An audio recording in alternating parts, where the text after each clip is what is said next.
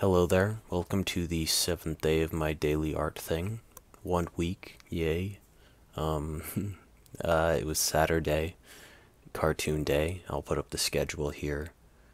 Um, yeah, I was really excited for this day, but I think I kind of messed up in a few different ways, and I'll talk about that after the time lapse. But other than that, I don't really have much to say. So, yeah, um, I'll just let that run and then talk about what I did well and what I can work on in the future. Uh, yeah.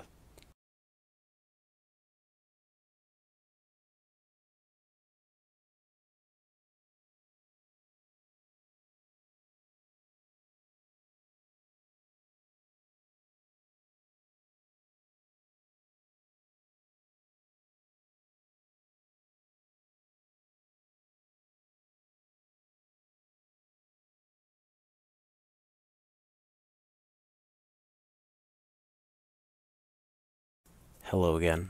Um, yeah, so this is the result of my cartoon day. I can't say I'm very happy with the result. The result. Uh, I made a few novice errors or novice. I don't know. Um,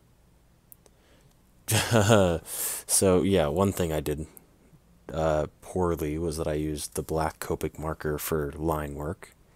Um, yeah, it's not meant for that. Uh, apparently, um, it didn't really work very well. Uh, as you can see, the lines are all really wobbly, and that's because the brush tip kind of is not meant for really thin, fine, long, continuous lines.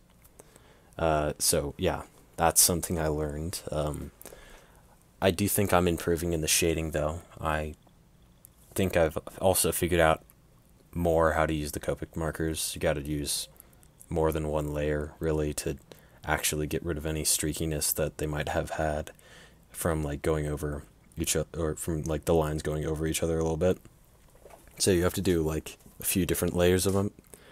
Um, yeah, so I don't really know how to work on cartoon skills. I think just doing it will probably help um, the design.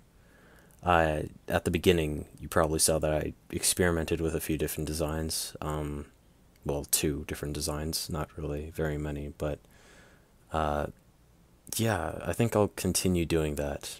One thing though, I do have a drawing tablet for my computer, so I'll probably use that to draw the cartoon characters in the future because it's a lot easier to make super smooth lines because the way it works is that like the the line goes towards your cursor, not directly where it is and directly where you draw. So like the lines get really smooth.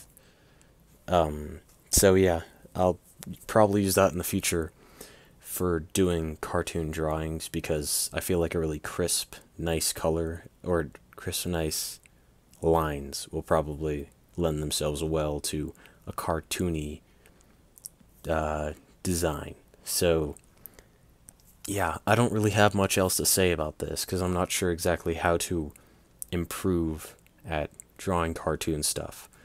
Uh, I think one thing I can do is just be more patient because with the black Copic marker, also it a little it bled a little bit into the the colors. So I, I don't think it would have done that if I had just waited a bit. So I think I just need to work like work on patience and also spend more time in the penciling area because as you can see his eyes aren't exactly the same his hands aren't exactly the same and even his boots aren't exactly the same and the pants also look a bit weird and i could have fixed all that if i just had redrawn it more than just the first time i did it so um, yeah.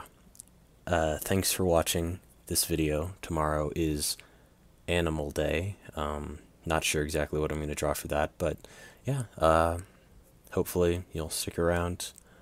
Um, yeah, as I said, I don't have much else to say. Thanks for watching, and uh, goodbye.